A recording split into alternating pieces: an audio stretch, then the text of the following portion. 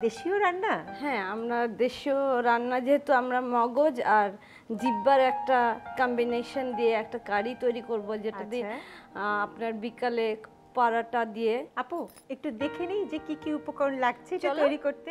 চলো। দেখে নেই আমরা? হ্যাঁ, ফার্স্টে আমরা দেখতে পাচ্ছি আমার জিব্বা এবং মগজের জন্য লাগছে হলুদ চিনি লবণ গরম মশলার গুঁড়া আদা পেঁয়াজ রসুন কাঁচামরিচ ধনেপাতা দারচিনি গুঁড়ো। দারচিনি গুঁড়ো চিনি। হ্যাঁ, এলাচ গুঁড়ো আর দুটো খাসির মগজ আছে। আর এখানে জিব্বা গরম করে কিউব করে কেটে মানে একদম বয়েল করে তাতে কি একটু তেল একটু তেল আর হলুদ দিয়ে ভুনো করে নিয়েছি। ওকে। এখন ফার্স্টলি আমি আপনি চুলো ধরাতে থাকেন আমি এটা মিক্সড আপ করতে থাকি। আমি ফার্স্টলি মগজটাকে হাত দিয়ে চটকি নিচ্ছি। এটা ভালো করে চটকে হ্যাঁ ভালো করে চটকে নিতে হবে। যাতে মগজটা ব্লেন্ড হয়। আমি তেল যতটুকু দিয়েছি হয়েছে আপু? হ্যাঁ, তেল হ্যাঁ। নাকি আরেকটু না না লাগবে? না কারণ এটা তো একটু ফ্যাট বেশি। আচ্ছা, এই জন্য আমরা তেলটা কমটাই ইউজ করব। পেঁয়াজটা দেই। আমি একটু লবণ দিচ্ছি। আচ্ছা। হ্যাঁ আধা চা হ্যাঁ এটা। হ্যাঁ প্রথমে একটু অল্পই দেই পরে আবার আন্দাজ বুঝে দেওয়া যাবে। হাফ টি স্পুন রসুন দিচ্ছি। আচ্ছা। আদা বাটা হাফ টি স্পুন আমরা এটাতে কিন্তু কাঁচা লঙ্কা ইউজ করব। হাফ টি স্পুন হলুদ দিলাম দুটো এলাচি দিলাম হাফ কাপ পানি দিলাম কষানোর জন্য।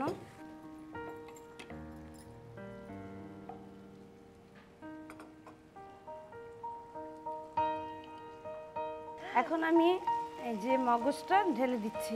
জি। একটু কমিয়ে দেন।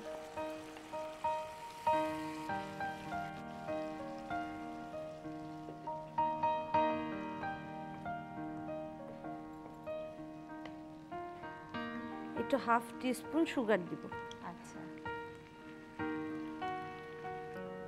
এবার সেই জিপাগুলো হ্যাঁ। দিচ্ছেন না? জিব্বাগুলো দিয়েছি যেগুলো আমি ভু- আগে একটু হলুদ তেল আর লবণ দিয়ে সেদ্ধ করে নিয়েছি।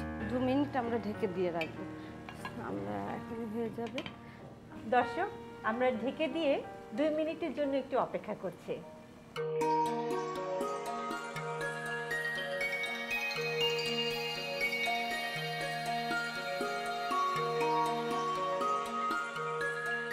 দুই মিনিট শেষ।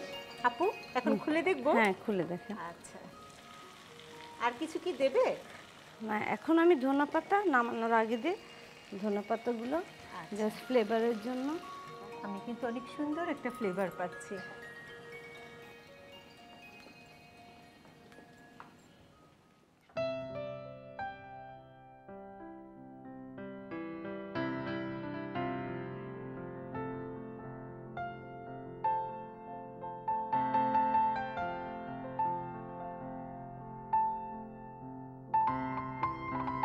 গেল আমার জিব্বা মগজ ভুনা। খুব সুন্দর।